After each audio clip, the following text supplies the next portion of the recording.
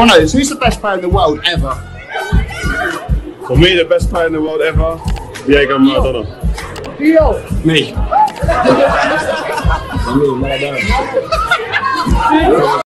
Not bad, not bad.